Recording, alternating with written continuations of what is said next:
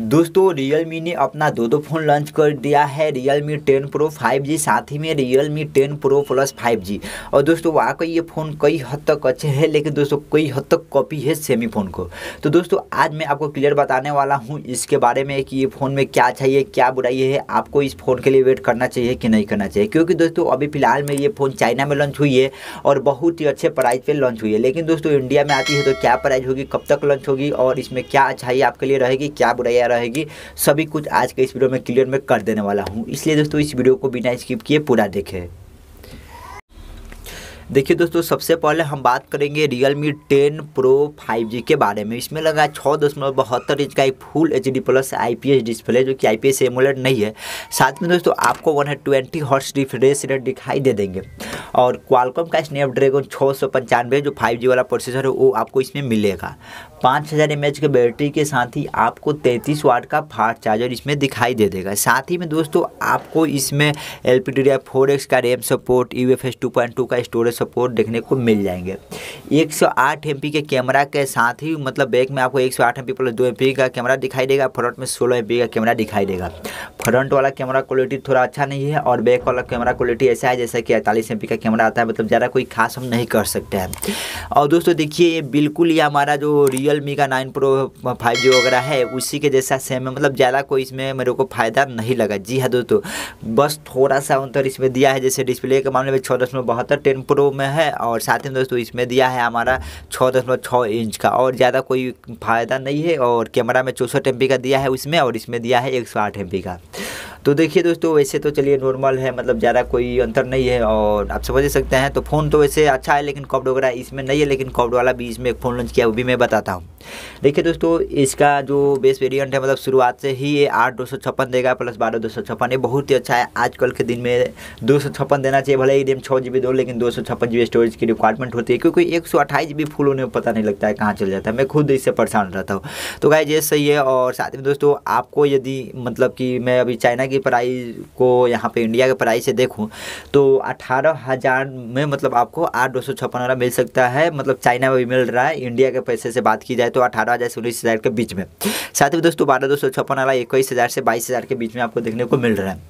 और दोस्तों, जब ये इंडिया में आएँगे तो बड़े ही आसानी से आपको ये बीस हज़ार के आसपास में देखने को मिल जाएँगे। जी हाँ दोस्तों, आठ सौ छप्पन वाला बीस हज़ार से शुरुआत हो जाएँगे। मतलब एक दो हज़ार तो भाई अधिक लगेगा, चाइना से इंडिया में अधिक लगेंगे।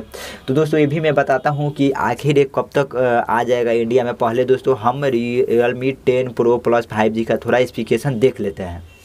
देखिए दोस्तों, मेरे को इसमें Realme ten pro plus five G phone काफ़ी हद तक अच्छा लगा। क्योंकि दोस्तों, इसमें लगा है छः दशमलव सात इंच का एक full H D plus AMOLED display जो एमोलर दिया है, काफ़ी हद तक अच्छा है।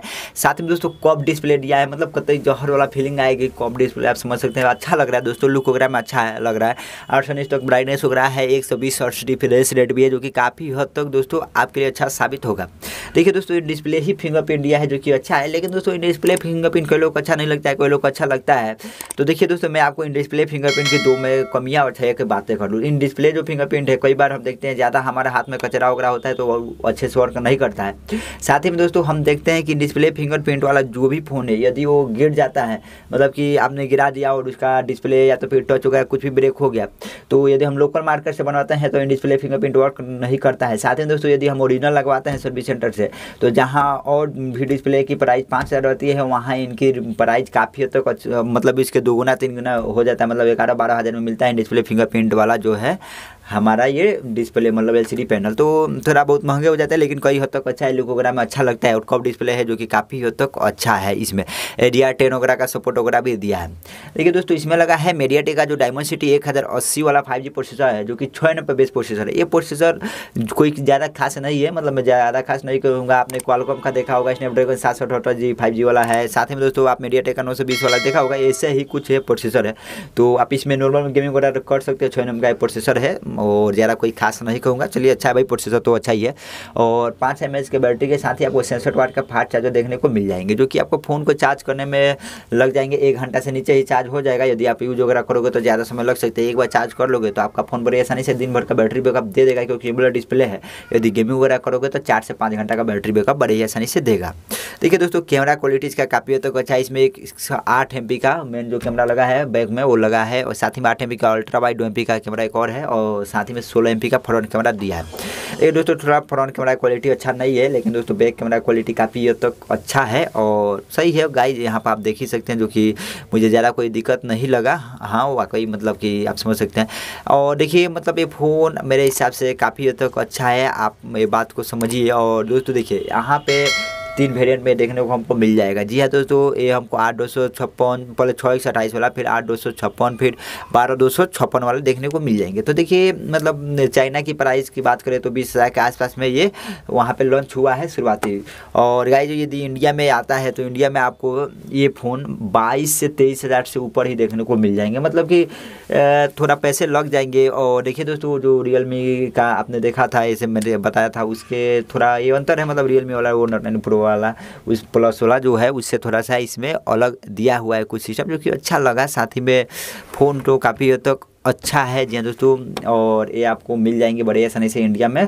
पच्चीस हज़ार के आसपास में तो आपको फ़ोन देखने को बड़े आसानी से मिल जाएँगे। और दोस्तों देखिए, इंडिया में ये कब तक आएगा, ये बिल्कुल ही सवाल है। तो देखिए, इंडिया में आने में ये हमारे हिसाब से बीस से पच्चीस दिन में ये इंडिया में आ जाएगा, दिसंबर का महीना में ये हमको देखने को मिल जाएँगे इंडिया में ये दोनों फ़ोन। और दोस्तों, दोनों फ़ोन को आप उस समय ले सकते हैं, अच्छे दाम पर यदि लॉन्च होता है तो यदि वेट करना चाहते हो, यदि आपके पास फ़ोन है तो वेट कर लीजिए, इस फ़ोन को यदि आप रियल मी लवर हो तो इस फ़ोन को ले सकते हो बेजी कोई दिक्कत नहीं है। और अच्छा खासा कॉप डिस्प्ले वगैरह है जो कि काफ़ी हद तक अच्छा है। अब आपको देखना है आप क्या करना चाहोगे, मैं तो सभी कुछ बता दिया हूँ। इन फोनों के बारे में। तो दोस्तों, यही थी कुछ इनके बारे में जानकारी। होगा आप हमको कमेंट करके बताइए, आपको वीडियो कैसा लगा? वीडियो अच्छी लगी हो तो इस वीडियो कीजिए लाइक और अपने दोस्तों में कीजिए शेयर और यदि अभी तक आपने मेरे चैनल को सब्सक्राइब नहीं किया तो यार मेरे चैनल को सब्सक्राइब करके बेल आइकन को दबा दीजिए ताकि हम जब भी कोई वीडियो डाले नोटिफिकेशन आप तक मिल सके। तो चलिए दोस्तों आपसे मिलते हैं अगले वीडियो में। तब तक लिए बाय बाय जय हिंद, जय भारत।